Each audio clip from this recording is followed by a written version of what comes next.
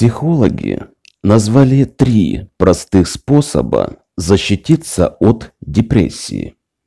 Депрессия является далеко не самым приятным заболеванием, поскольку мешает комфортной жизнедеятельности.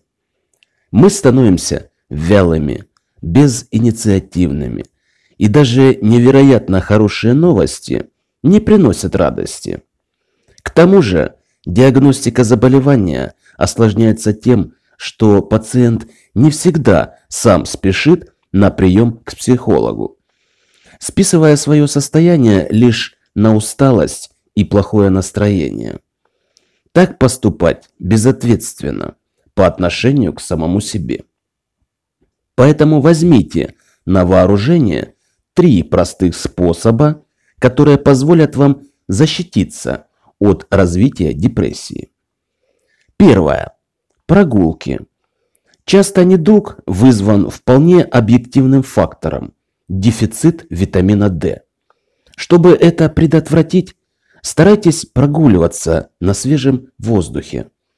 Если солнца не видно, это не значит, что его нет.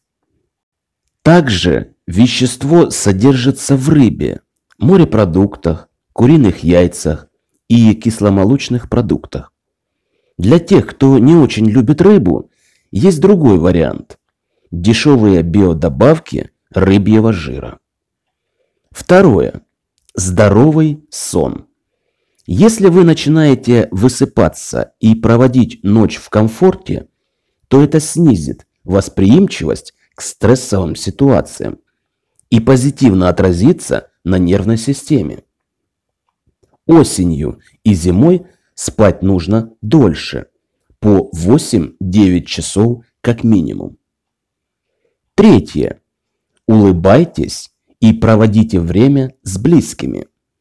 В качестве профилактики депрессии стоит насыщаться позитивными эмоциями.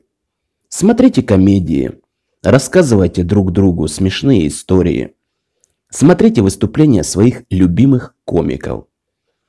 Также выделяйте больше времени на тех, кто вам не безразличен.